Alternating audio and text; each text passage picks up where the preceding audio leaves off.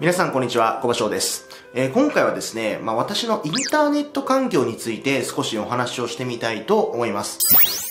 まあ、実はですね、もう半年ぐらい前になると思うんですけど、僕がね、ここにまあ引っ越してきた時に、まあ、この家の前の家でね、えー YouTube を始めたので、配信する時の、まあ、様子っていうのが一度、まあ、大きくガラッと変わったんですけれども、まあ、実はね、引っ越してきた時に、あの、インターネット環境がですね、まあ、正直に言って非常に悪かったんですね。要はですね、まあ、あの、普通にインターネット固定回線で契約をして、そのまあ、契約した固定回線から、まあ、わゆる Wi-Fi のね、えー、なんていうか無線ルーターっていうんですかね。まあ、それでまあ、電波を飛ばして、まあ、無線で、まあ、家の中でインターネットを使っていたんですね。で、非常に遅かったんですね。YouTube を閲覧するとかね、こう、ウェブサイトをまあ、普通に閲覧するぐらいであれば、あの、まあ、そんなにストレスなく、まあ、ちょっと YouTube 開くのに、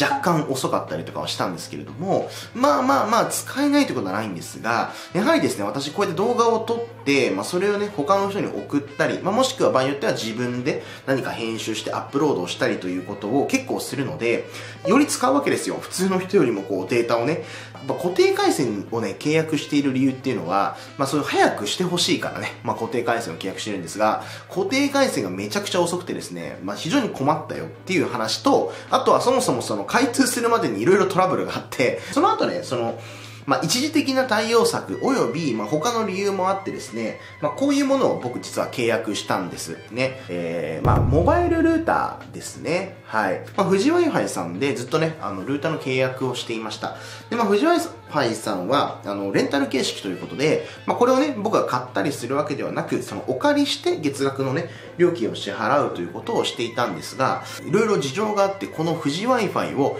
解約しようということで、まあ、動画を撮ってみようというふうに思いました。こうやってね、まあ、ルーターを契約しようって考えている方とか、まあ、もしくは、あね、ちょうどね、まあ、今は、まあ、新規のね、こう、生活を始めている方も多いと思う時期なので、まあ、何かの参考になればいいなというふうに思います。で、まずね、僕の周りでもそうなんですけれど、普段ですね、やっぱり固定回線を必要としてる人ってそんなに多くないんだなっていうのをすごく感じます。というのは、僕みたいにその動画のやり取りをするっていうのは、やっぱこう、異常というわけではないけど、まあ、異端なんですよね。その、毎日何ギガのデータをいちいちパソコンからね、ネットに上げたりとか、もしくはダウンロードしたりとか、まあ、そういうことをする人っていうのは、まあ、多くはないわけですよ。そうすると、それぐらいの人にとっては、めちゃめちゃ回線が速いという必要はあまりなくて、で、かつそのデータ容量についても、まあ、尋常ならざる量っていうのはそんなに必要がないということで、まあ、固定回線じゃなくて、こういう、まあ、ルーターみたいなのを持ち歩いてる人も結構多いと思います。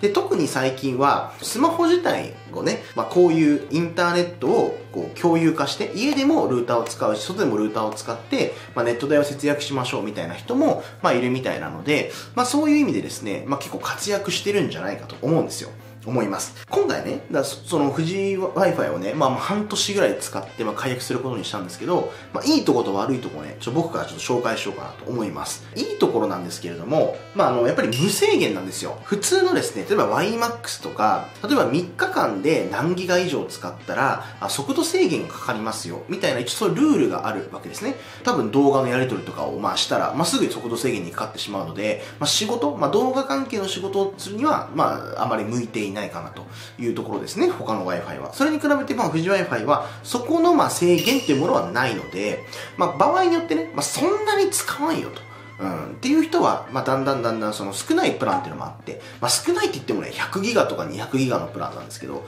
まあ、そういうなんかこう、ギガを買うようなイメージでのレンタルっていうのもできるというのが、まあ、いい点ですよね。で、まあ、二つ目としては、まあ、契約の縛りがないんですよ。僕みたいに半年で辞めても別に違約金がいくらですとかっていうのは言われないし、だ実際僕もその家の、え固定回線が全然うまくいかない状況で、とりあえずちょっとこれを送ってもらって、まあ、急場をしのいだりとか、あとはちょっと出かけてね、えーまあ、出かけた先で少しこう動画のやり取りをしなきゃいけないことがあって、どうにかこれでね、まあ、対応するみたいなことも、まあ、ありました。なので、まあ、そういう意味では活躍してくれました。悪い部分もね、結構あって、まず一つ目なんですけど、遅いです。はい。厳密にね、そのテストで比べているわけじゃないので、あの、まあ、反論の余地があるかもしれないけれども、やっぱりですね、他の、そのさ、新しい機種の、その YMAX とかね、えー、ああいうものをちょっと借りて使ってみた時と、やっぱり同じ場所で、えー、こういう富士 Wi-Fi の、まあ、ものを使った場合、やっぱりこういう方が古い、その機種らしいので、まあ、スピードは遅いです。うん、ただ、さっきも言ったように、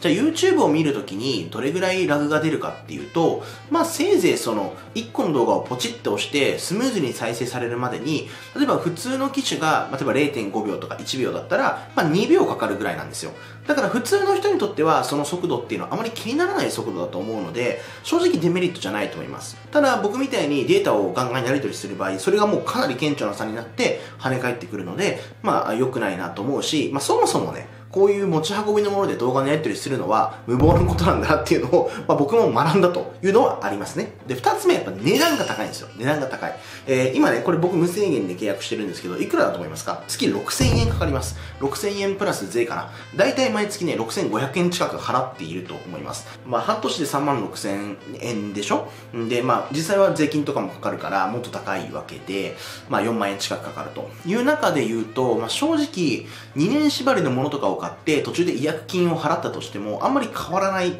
値段になっちゃうんですね。で、実際やっぱりこう使ってて思ったのは、あると便利なんですよ、こういうものって。僕もね、一度あったのは、まあ、会社も当然こうインターネットを引いて、まあ、無線でね、パソコンで仕事ができるようにしているんですが、なぜかたまに数時間とか半日ぐらい、ちょっとインターネットの調子が全く使えないわけじゃないんだけど、なんかなぜか遅くなるみたいな、そういうタイミングがあるんですよ。で、そういう時に、あの、やっぱこういうのを持ってるとね、まあ、あとりあえずちょっとその場にいる社員はね、これにつないで、まあ一応その、なんとか業務を進めたりとか、あすることができたということで、やっぱりこういうものがあると非常に便利だなというふうには思いました。会社に常に1個置いといてもいいかなって思うぐらいなんだけれども、でも逆に言うと、そのさっき言ったように、その容量無制限で動画をガンガン使うとか、まあこれをもともと普段からね、メインで使って、動画のね、アップロードダウンロードするっていうのはもう向いてないということが分かったので、そういうまあメリットデメリットを踏まえると、まあ、もうちょっと割かし安いものをもう長期間持つ前提で、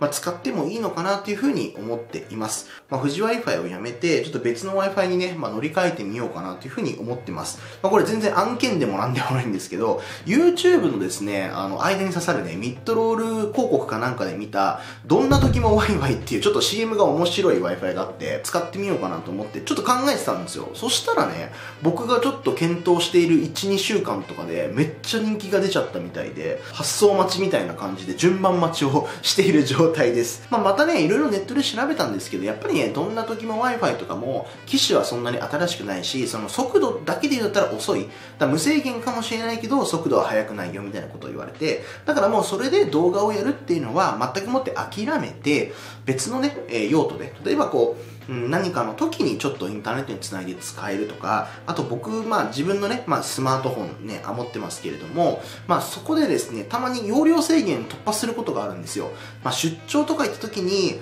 まあなんかこう知り合いに動画をいろいろ見せたりとかして容量いっちゃうとか、まあ僕、あの沖縄にいたんですけど、行ってたんですけど、新婚旅行で。沖縄に行った時にも、これ持ってたんですよ、Wi-Fi をね。ただこれが、まあちょっとうまくいかなくて、まあしょうがないので、その LTE というか、その携帯の通信容量でライブ配信をしたんですけど、まあ思った通り、まあそれで1時間もせず切れるようになっちゃって、つまりもう制限が来ちゃうみたいな感じで、まあ残念ながらすぐ通信制限が来てしまったりとか。まあただそれはね、まあどうしても避けられなくて、で、追加で購入するのも別に全然いいし、僕にとってはその本当に通信容量とかね、その何ギガっていうのが自分の生活とか仕事に関わってくるので、まあそこに対してね、別にお金をきちってるわけじゃないんですけど、まあただ毎回毎回買うのがめんどくさいんですよ。だったら、あの、いざという時のためにこういう Wi-Fi を1個持ってて、まあそんな早くなくてもいいから、Web の閲覧とか SNS を使ったりとか、まあ、軽く YouTube をね、見たりとか、ちょっとコメント確認するとか、まあ、そういうことには使えるようにということで、まあ、もうそもそもね、こう、使い方のスタンスを定めることができたので、もう少し安いものを使ってみようかなというふうに思ってます。どんな時も Wi-Fi の方はね、月々3500円ぐらいだったかな、まあ、4000円ないぐらいで借りられるんですね。で、最後にね、これも、ちょっと雑談というか、まあ、愚痴みたいな感じなんですけど、もしかしたら、あの、不愉快になってしまう人もいるかもしれないんで、場合によってはちょっともう動画を閉じていただいた方がいいかもしれないんですけど、実はね、その5月の末にその解約をするというタイミング、つまり、えっ、と、4月のですね、終わりぐらいに、まあ、あの、まあ、解約しますみたいな、そういう、まあ、申し込みをしたんですね。で、まあ、タイミング的には5月の末になることは、まあ、理解、重々理解をしていて、5月末まで使って、まあ、返そうと。まあ、ただ実際には、えっと、6月の3日とか、まあ、それぐらいまでに、その会社の方に、こう、必着ですよって言われているので、まあ、なので、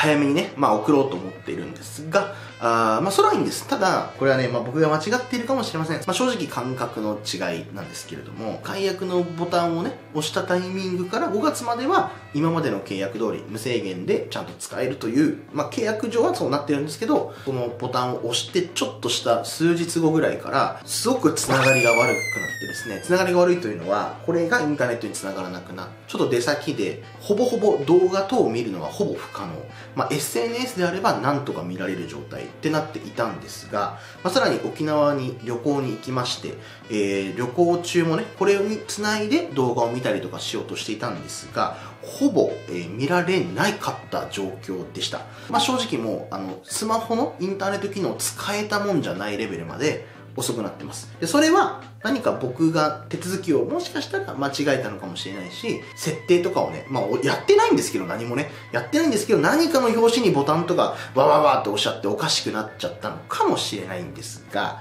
あの、一応ね、そういうことはしてないと勝手に僕は思ってるんで、まあ、ちょっとそういう疑念が少し残ってしまったなというのが、まあ、残念な点です。インターネットとかでいろいろ調べたんですけど、同じことを言ってる人はあまりいなかったので、少なくともね、僕が調べた範囲だと、まあ、僕の勘違いじゃないかなという気はするんですけど、まあ、一消費者の、まあ、意見として言っておこうかなというふうに思いました。